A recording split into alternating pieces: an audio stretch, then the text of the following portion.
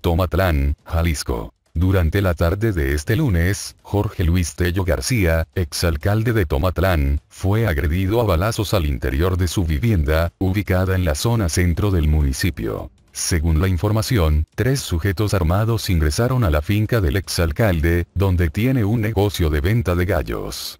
Los sujetos abrieron fuego de forma directa y después escaparon de la zona. Se realizaron diversas llamadas al número de emergencia 911, donde se informaban sobre detonaciones afuera de una vivienda, ubicada sobre la calle Jalisco. Al arribo de autoridades y ambulancias, localizaron a un hombre con varias lesiones de arma de fuego, al ser revisado por paramédicos se confirmó que ya no contaba con signos vitales.